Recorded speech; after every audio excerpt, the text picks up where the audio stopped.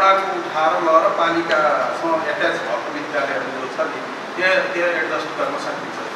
त्यो करिब करिब चार सय जति सकिन्छ क्या। म्याग्दीमा चार सय सकिन्छ। केन्द्रीकृत गरेर चलाउँदाखेरि चार सय नै बनाउन सकिन्छ। त्यो मध्ये चाहिँ अब एक सय असी चाहिँ यहाँ प्रयोग गर्छौँ हामीले होइन? अरू बाँकी चाहिँ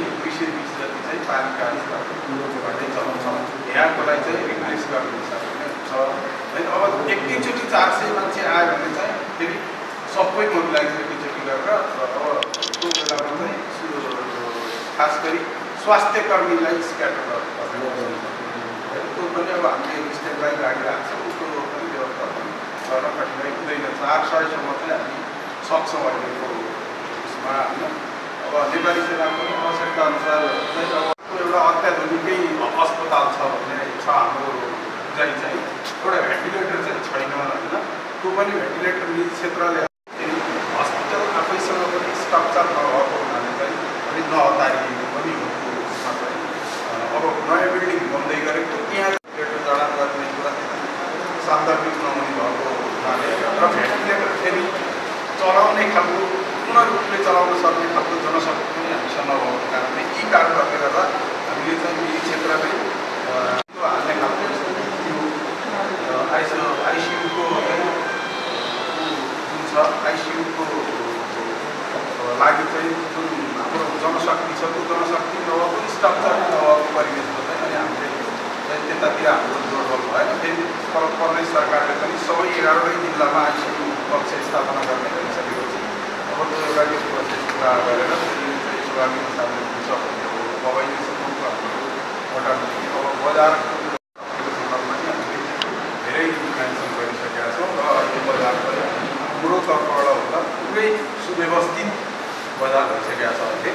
र त्यहाँ जे जति तपाईँको एक्सपायर थिए हुने सूचीका कुरा थिए अरू विषयहरू कस्तोहरू थिए हाम्रो सङ्घको साथीहरूलाई सँगै लिएर घरेलु कार्यालयलाई सँगै लिएर चाहिँ अरू सुरक्षाका सबै परिचालन गरेर करिब मलाई लाग्छ पाँच लाख बराबरको हामीले डेट एक्सपायर सामानै नभएको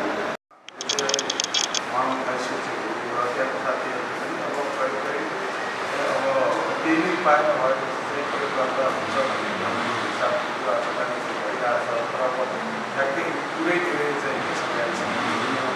तर अब हामीले विकल्प चाहिँ धेरै पनि बिल्डिङ एकदमै राम्रो विकल्प रहेछ। तर हामीले तर पछि चाहिँ विचार गर्दाखेरि चाहिँ सामान्य गरेर गर्दाखेरि अहिलेसम्मको सङ्ख्यालाई मोटामोटी थाम्ने स्थिति छ त्यो कारणले अब अहिले हामीले धेरै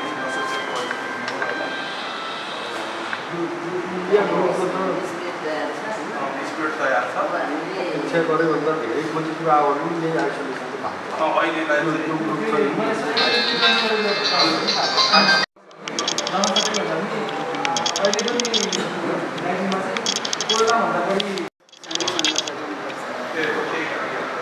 शान्तिको अनुभव चाहिँ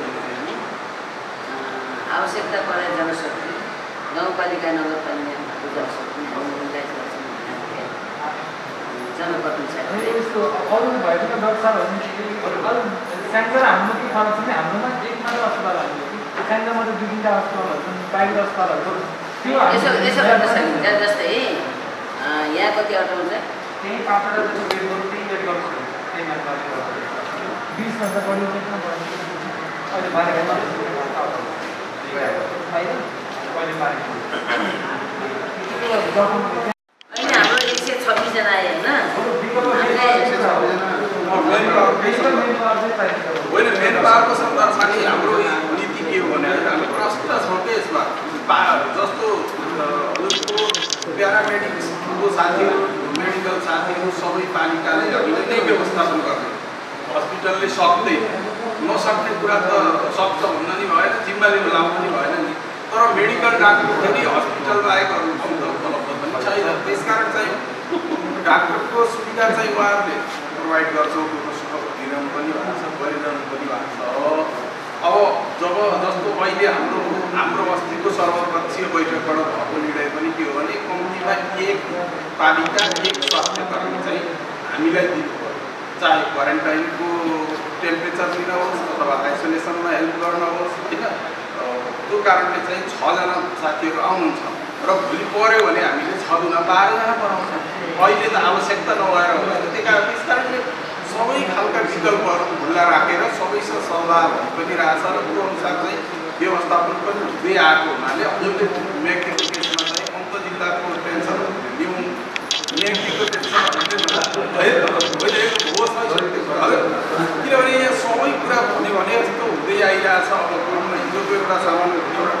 घटना बाहेक नभए त्यहाँ पनि अब केही कमी कमजोरी भयो सेन्सिटाइजेसनको अभाव अरू केही हो व्यवस्थापक भनेको स्वास्थ्य कर्मी पनि होइन सुरक्षाकर्मी पनि होइन होइन व्यवस्थापक भनेको म्यानेजरले त ओभरअल होलिस्टिक एप्रोचबाट हेर्नु पऱ्यो नि सुरक्षा कसरी हुन्छ स्वास्थ्य कसरी प्रदान हुन्छ खाना कसरी खान्छ कहाँबाट ल्याउने कस्तो खुवाउने भन्ने विषय व्यवस्थापकले त सबै हेर्नु पर्छ नि त्यहाँ चाहिँ त्यो व्यवस्थापकीय कमजोरीको कारणले भएको घटना हो अब त्यो उहाँहरूलाई अब हिजो पनि हामीले पटक पटक भ्या पनि छौँ उहाँहरूले रियलाइज गरेरै होला सायद। कसैले पनि नमानेको ठाउँमा गएर ल राख्यौँ। त्यहाँको जनप्रतिनिधिले पनि नमानेका हुनुभयो। उसले पनि सुनेको हामीले। होइन त्यस कारण चाहिँ अब म्याग्दीमा चाहिँ अब हिजोको घटनाले अब अलि अलिकति अलिकति प्रिभिलेज दिने खालको रहेछ कि भन्ने मेसेज त गयो। तर हामीले कसैलाई पनि प्रिभिलेज दिएको छैन। एकदमै टाइट हिसाबले नै गरेका छौँ। अब आँखा छन् आदि यो चाहिँ अब यो घटना चाहिँ अब यो होइन यो व्यवस्थापनमा त्यहाँ सय छब्बिसजना मध्ये कतिजनाको सम्पन्न।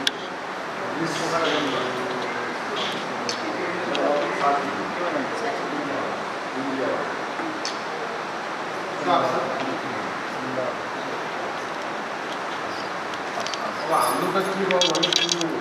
अस्तिको पोजिटिभ आइसकेपछि यसको भूमिका सङ्क्रमणको सम्भावना हुन्छ तपाईँहरूले स्वाभाविक हिसाबले उता केन्द्रित हुनुपर्छ अब हाम्रोमा चाहिँ